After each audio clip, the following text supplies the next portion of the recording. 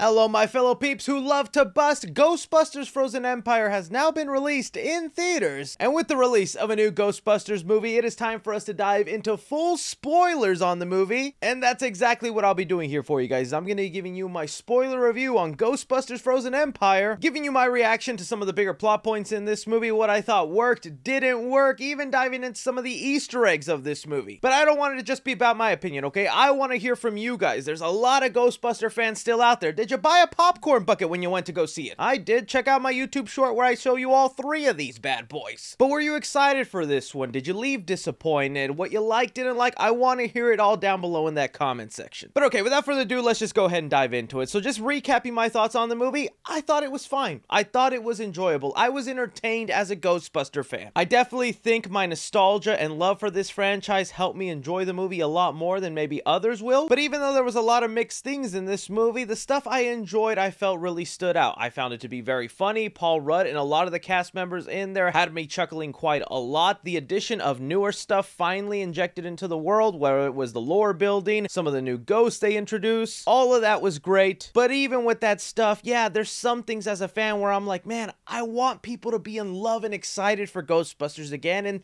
this movie just wasn't able to do that. So kind of getting into specifics here, I actually really dug the opening of this movie because they start us off with a flashback in New York City where we see some firemen going to put out what they believe is a fire, only to discover that the people within a room have all been frozen to death. That hooked me in so much, and I thought we were gonna get a really interesting Ghostbuster movie. That entire setup and the way it played out, I was like, oh, they're headed in the right direction. Even more when they pulled up the classic Ghostbuster logo, making it look like it was from the original movie. Really love that touch. But then we dive into modern day, and the Ghostbusters are now active in New York City. It's been two years since Afterlife, and they've just been busy busting ghosts, which apparently are now everywhere. I remember the last movie made it a big deal that there hasn't been a ghost sighting in forever, but now they just pop up every other day and they're constantly getting calls. Look, I like the idea of this sequence and the family dynamic they were trying to go with because instead of having just four random friends start up a business where they just go hunt ghosts, the Ghostbusters is now a family business. It's the Spenglers and Paul Rudd. And for moments you could see how that could work. They're talking to each other. Finn Wolfhard is kind of like the tech geek making sure the car works. The mom's just eager like her father once was to catch a ghost. Paul Rudd's just also happy to be there. McKenna Grace wants to prove herself trying to catch this ghost, but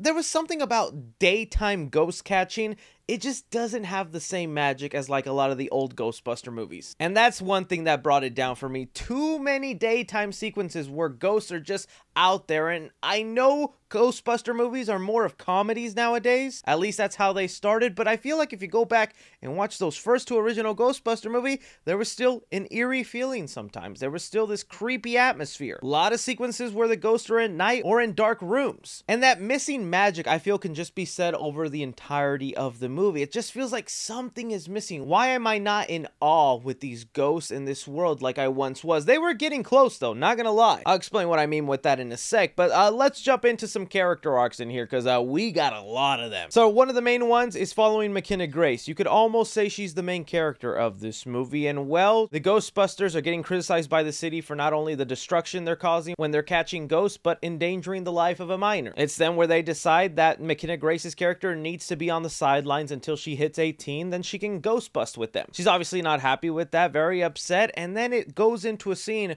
where she goes to a park, begins to play chess, and the chess pieces start moving by themselves. And I believe this was a callback to Ghostbusters Afterlife, where she was playing chess with her grandfather, Egon, who is dead now in this universe. And honestly, I thought that was a really sweet moment, and I was like, oh, are they really going to play the Egon card again? I wonder. And no, one of the big plot points that was nowhere to be seen in the trailers, just like a lot of other scenes, a ghost appears in front of Phoebe named Melody and talks about how she died a long time ago in a fire and has just been stuck as a ghost ever since. And with a lot of the risky plot points Ghostbusters Frozen Empire, I have negatives and positives with them. On the positive side of things, I thought this was an interesting idea thrown into the world that I felt could have done right if they made a tweak to it. Obviously, since Phoebe's feeling alone and disconnected from her family since she can't ghostbust with them and then starts making this connection with a ghost, something could have happened there that would have further developed the way Ghostbusters go and hunt ghosts. I thought the movie was going to try and play on a sort of like civil rights kind of of way on ghosts, which I know might sound dumb, but hear me out. In all the Ghostbuster movies, the Ghostbusters just treat ghosts like monsters, like nasty things they need to catch, pest, and then they lock them away in these cages for there to be stuck like forever. And well, in the last movie, we had an entire sequence dedicated to Egon, you know, passing over, fulfilling his purpose, and then going to the greater beyond. What if ghost busting didn't have to be you just catching the ghost, you just getting rid of the monster and caging them up somewhere? What if part of ghost busting involved helping these ghosts find their purpose, and assist them with crossing over on the other side. I thought maybe that's where we were headed, and that Phoebe would kind of become a defender of Ghost, of like, you can't treat these people like science experiments. You can't just lock them up, study them, and do all that. These were people once too. And I felt like that would have been a fascinating exploration of the Ghostbusters world, but uh, it didn't go down that route. And just to clarify, because I can already see some comments saying, Chris, that's such a boring idea for Ghostbusters. I'm not saying every ghost needed to be caught that way. There's obviously tons of ghosts that they fight that have no redemption or even ability to cross on the other side, and that's the ghost we still catch in a harsh way. But still, I thought it could have been something new they added on. Instead, the friendship gets really played out and cliched, and you find out at one point this Melody ghost is actually secretly working for the big bad of the movie, Garraka, trying to eventually trick McKenna Grace to say a couple of words out loud so he can take over her body and free himself, which, by the way, that entire sequence, while really cool, was super convoluted, and there was no way Melody knew that McKenna Grace would at one point offer her body to separate from her soul to touch her in the ghost world. There's no way she thought that's what was eventually going to happen. And a lot of the plot gets a little too complicated because we have way too many characters in here. Bill Murray and Annie Potts unfortunately were those characters that just blended into the background. Bill Murray shows up randomly in one scene that's supposed to be like a callback and Easter egg to the science experiment he had in the original movie, but this time with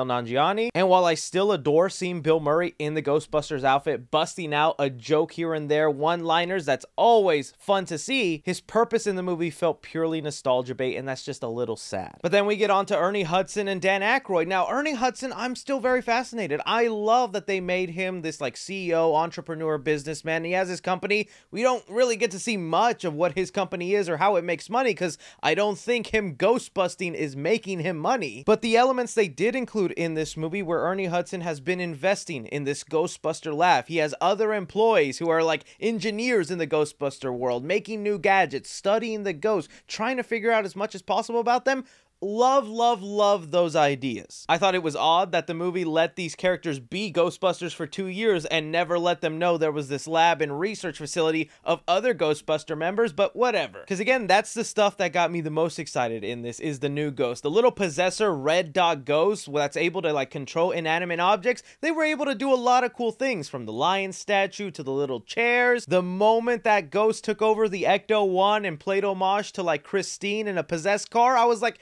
dude, yes, this is the Ghostbuster stuff we need to see more of. And I would say Dan Aykroyd, out of all the legacy characters, was given kind of the best arc, but even then, he barely got his screen time. You can for sure tell he's the Ghostbuster who misses the glory days, who misses being the one on top, the one chasing the ghost, making these discoveries. He's still trying to relive it somehow, and they gave him a small relationship with podcasts, which, hey, still love podcast in here. Logan, Kim, you need to be in more movies, dude, because you are very funny. But him having his like weird little YouTube channel and buying all these haunted objects and just trying to secure them and make sure no ghosts keep coming out, I love that for him. I just again think there wasn't much of a payoff to that arc and that story he was fulfilling. Moving on to the other risky plot point thrown in this movie that again, I have negatives and I have positives with Kumail Nanjiani. So he plays a guy named Nadeem who's just kind of this wannabe entrepreneur, is really just reselling sneakers, old technology, going into his grandma's belongings and seeing what he can make a quick buck out of. He added a lot of humor to the movie and was just a welcome addition in my opinion. But the thing they do with him is that they connect his backstory to this ancient group of people in the Ghostbusters universe that would have these fire abilities and they would be in charge of capturing these evil spirits in spheres. And that's what happened in the opening flashback of this movie. His great grandmother was one of those firepower people that trapped Garraka in his little sphere And now, because he was rummaging through her belongings, he put Garraka at risk to escape. So, a couple of things on that. I actually kind of love that backstory, and I think that was a really interesting thing to add into the Ghostbusters world because it was a way of saying the Ghostbusters aren't the first ghost catchers. There have been many forms and different iterations of ghost catchers in history, whether people who are capturing spirits, exorcisms, or whatnot. Ghostbusters are just one modern day form of that. And so I kind of like this idea that there was these group of people that would be capturing and ghostbusting way back in the day.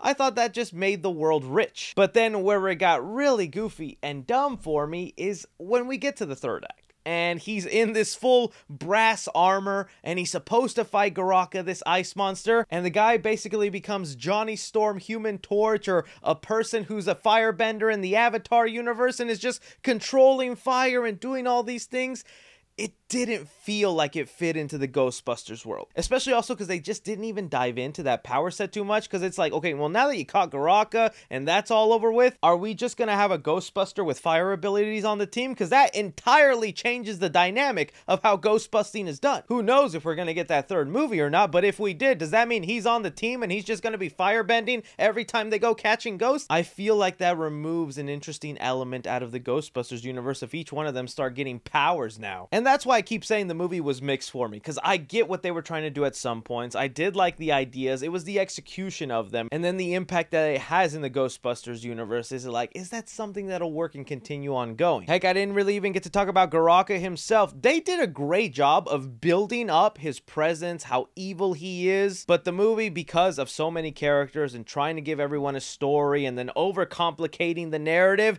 by the time Garraka finally comes out and starts freezing the town, we only get a total of like 15 minutes with him. And that kind of sucks because his design was awesome. It was a mix of CG and some practical effects. Seeing all the Ghostbusters come together and try to defeat him was a lot of fun. I do wish some of the tension-filled moments weren't ruined with comedy, like when Kumail Nanjiani came down through the pole right when he was getting vicious. But then they defeat him, it's over with, and then the Ghostbusters just go back to doing what they do, and you could think the adventure goes on or this franchise ends here. Right now, unfortunately, since the movie is getting like terrible reviews for the critics, I really do not agree with that score, and I think some people are being overly harsh with just a fine movie. It's still enjoyable, in my opinion. Like, even there at the end where Phoebe calls Paul Rudd's character dad, like, that's a sweet moment. That makes me want to see these characters again and have them continue on Ghostbusting.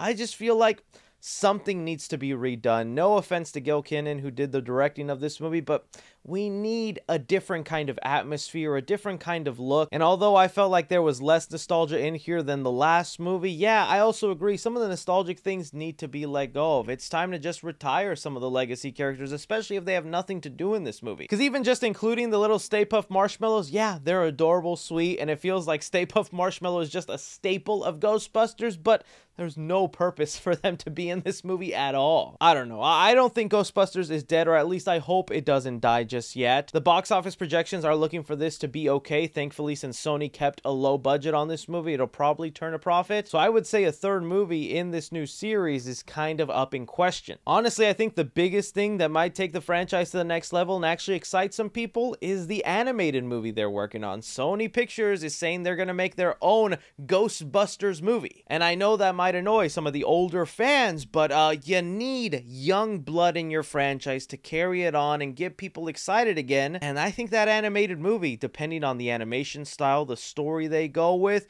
could be the thing to actually reignite the franchise. But we'll have to wait and see because we have not gotten an update on that animated film. I don't even know if there was a point to talk about the post-credit scene. It was just the Stay Puft Marshmallow stealing a marshmallow truck. If anything, I thought a giant hand was going to come out and kind of tease the big puff marshmallow, but that didn't happen. It's really going to be about the amount of money this movie makes, whether we get another live action third film or we're going to have to wait another 10 years for a reboot or something else. Let me know your guys' opinions on Ghostbusters Afterlife. Don't forget to like, subscribe, follow me on Twitter at 3C Films or on TikTok at 3C Films. But as always, I'm Chris. Take care.